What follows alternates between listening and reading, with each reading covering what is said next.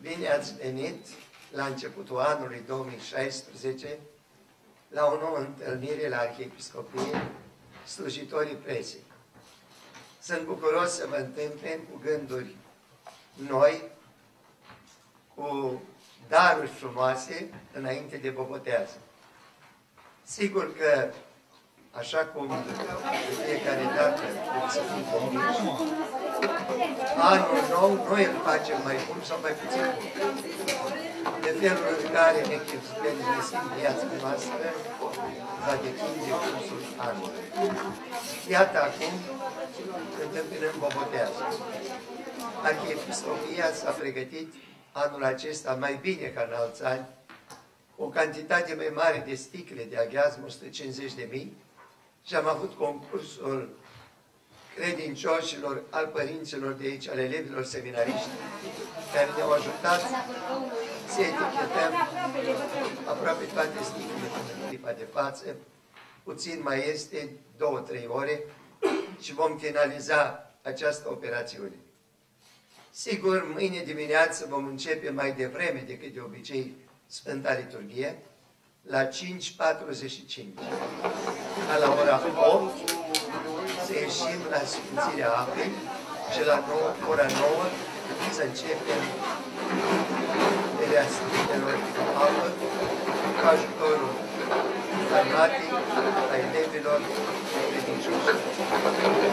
Este o jertfă și o jertfă necesară ca să oferim constanțenilor o bobotează plină de daruri daruri care se găsesc mai ales în apa cea sfințită.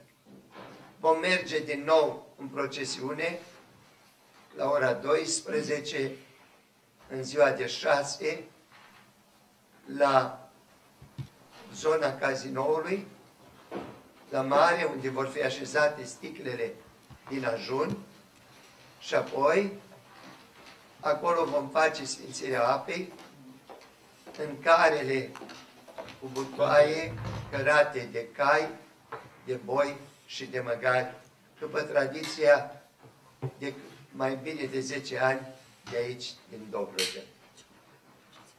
Apoi vom merge prin oraș și vom împărți apă sfințită. Dar, în ajun, în ziua de 5, la ora 14, voi fi la Hârșova, la Dunăre, unde părinții de la Cârșova s-au pregătit să sfințim apa și acolo în ajun și să sfințim Dunărea și apoi să mergem cu apa sfințită prin oraș pentru a sfinți și orașul Hârșova. Și chiar mi place. Am venit în fiecare an la etichetat. Suntem uh, fetele de la fabrică, de la fabrica de lumânări de la Arhiepiscopie și am venit să ajutăm la Când ați început? Cât mai stați? Astăzi am început prima zi, bine, e început mai de mult.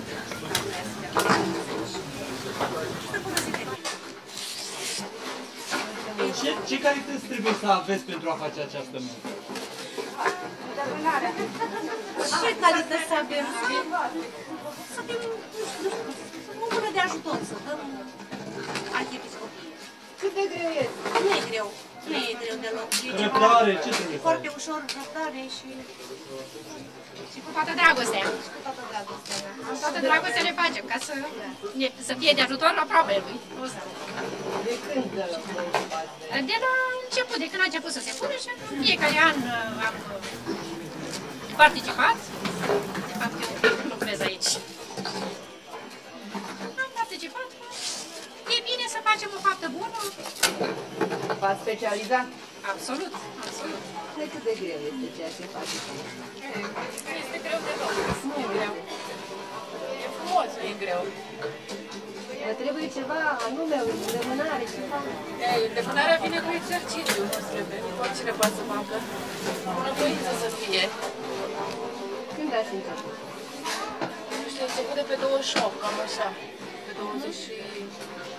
28 decembrie. Da, de atunci? Da. Au fost foarte multe, au fost cam 130 de mii de sticle. 130 de mii Da. Mai aveți? Mai sunt puține, nu știu, dar ce se vede pe aici. Da. Până pe 14 ianuarie când se încheie praznicul Bobotezii. Totdeauna aghiazmă se dă persoanele care sunt curate. Femeile care nu sunt curate în perioada aceasta nu pot lua aghiazmă. Dar cei care se curate trebuie să-și La, de unde sunteți? De la ce? Și apoi Sau de la ziar, de la Cuceț? află sau aghiazmă mică după aghiazmă mare. Aghiazmă mare, răspuns față de aghiazmă și